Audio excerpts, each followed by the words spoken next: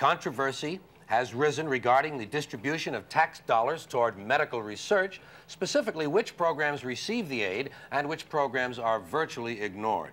Here to comment on this is Saturday Night News science editor Gary Kroeger.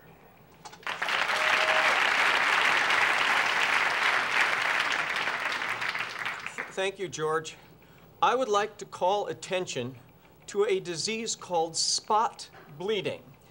Now, that is when your chest starts to bleed in five or six different places, and the pain is unbearable. And yet, nothing is being done about this. I am uniquely concerned because I am a spot bleeder. Ah, millions of dollars are spent on cancer research and related projects, which is fine. But no one in the medical community is doing anything about spot bleeding.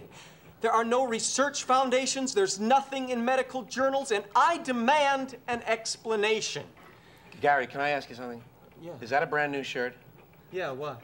You have to take the pins out of it before you put it on. Oh, The straight pins, you got to take them out first. This is rather embarrassing. You're a moron, Kroeger. Back to the news.